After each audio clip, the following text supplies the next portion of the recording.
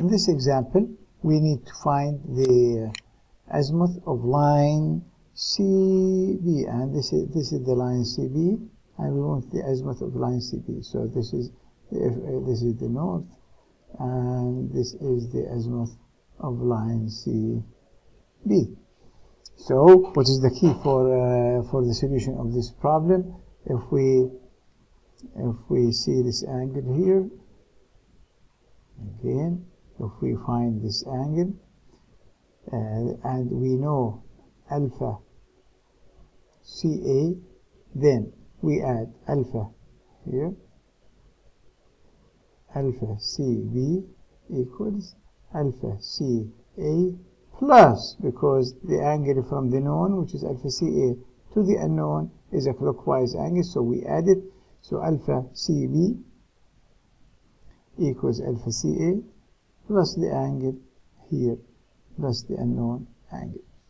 So if we find the angle uh, that is unknown at, at C, then we can find alpha CB.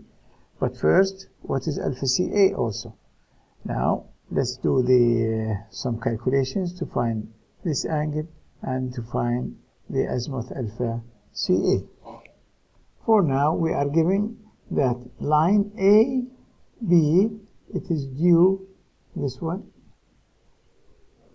it's due east. Due east means going to the east, and consequently, the azimuth of line AB equals 90 degrees.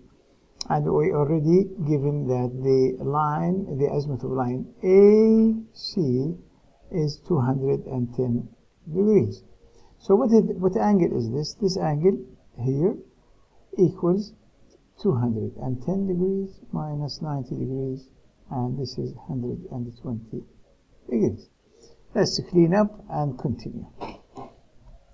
So now, to find this angle or the opposite angle here, we have uh, to use the law of sines. In the current situation, we have 3, which is a side angle and side, and this we cannot start with the law of sines, so we cannot calculate this angle or that angle.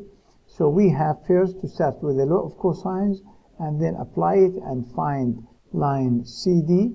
Once we have the CD calculated, we can use the law of sines to calculate this angle and or this angle.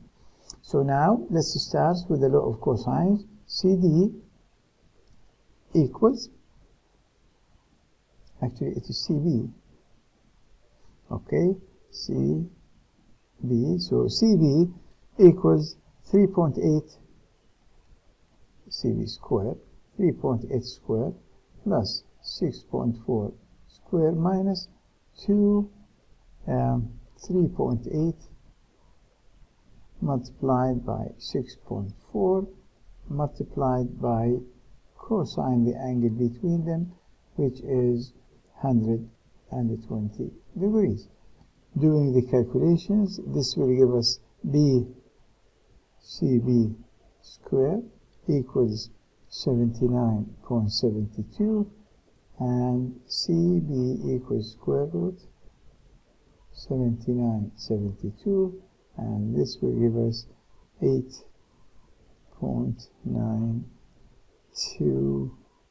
8.929 meter. This is to three decimal uh, places. So now we found BC.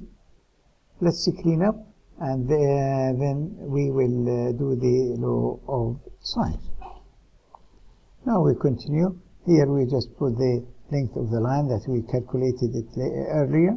Then the law of sines using this angle and the opposite side, and this angle and the opposite side. So 8.929 over sine the opposite angle, it is 120 degrees, equals 6.4. Of course, these are kilometers over sine, let's call it C angle. C ang sine C angle equals 6.4 multiplied by sine 120 degrees divided by 8.929 and this will give me after finding C equals arc sine and this will give me 38.4 degrees let's find it in as we said we need to do that in degrees minutes seconds. So what is the what is the equivalent of this? Let's do that on the calculator. And to be exact this angle is 38 degrees 22 minutes 11.96 seconds. So this is the angle C. Now we want to clean up and continue the solution to find the azimuth of CB now to calculate the azimuth of uh, line CB we need the azimuth of line CA so alpha CA and alpha CB. Now, we do not know alpha CA, that's why we have to calculate it from the other side. So we know that alpha AC equals 210 degrees, which is this one. So we have to take the inverse, so the or the back azimuth. So the back azimuth alpha CA equals because alpha CA is more than 210, so it is 210 minus 180. So uh, this will be equal to 30 degrees. Uh, that's enough for now, and then we will move back to the to the joint here to the uh, vertex and say alpha CB equals alpha CA. Since we will be moving uh, clockwise at the 30 degrees angle here so this is plus 30 degrees and this uh, yeah equals